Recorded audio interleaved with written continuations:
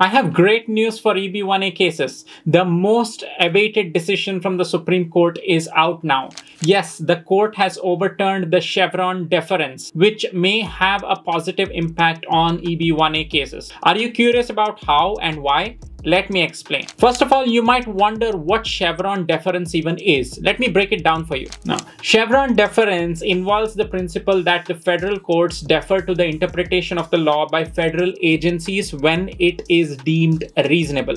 Now, in simple terms, if a dispute arises regarding the decisions made by a federal agencies, the company or person affected by it might defend the agency's decision in federal court.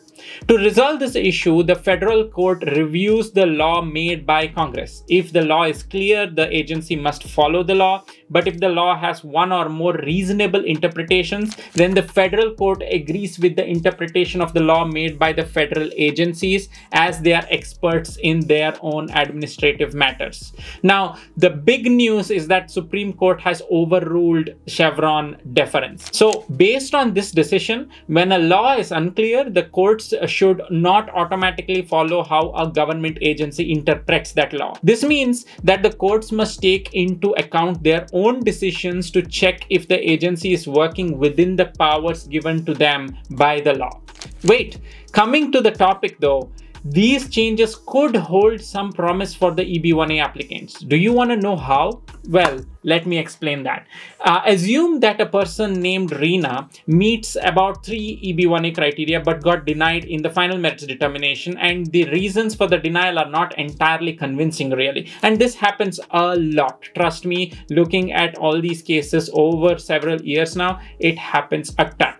Now, she may appeal to the federal court to review the USCIS's decision. Typically, USCIS relies on Chevron deference to make a final merits determination. With the Chevron deference overruled, the federal court will not automatically accept the USCIS's decision, which implies that Rina's case will be reviewed independently. Now, this independent review could potentially result in a favorable outcome for Rina's case as well. The other advantage, though, is that as the Chevron deference is overturned, this creates pressure on USCIS to be more conscientious and fair in making EB1A final merits determination decisions as well. Now, that's it, folks. It takes a lot of effort to make this video. So if you have any questions related to the EB1A or any topic immigration related, feel free to comment below. We are happy to help you on your immigration journey. And I would really, really appreciate if you do something that takes you nothing. That is hit the like button if you find these videos helpful. And please, please subscribe to the Smart Green Card channel for more such videos.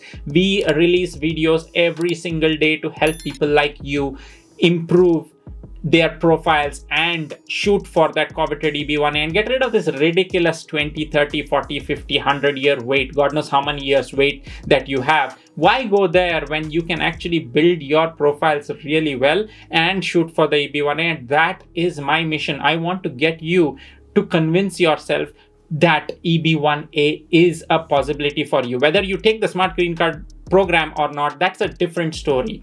But I want you to dream about the EB1A and work super hard for it because it is worth it regardless of if you take our program or not. So, but one way to freely accept a lot of content that will help you make a lot of informed choices is subscribe to this channel and please please hit that subscribe button until next time this is Saiman Shetty signing off peace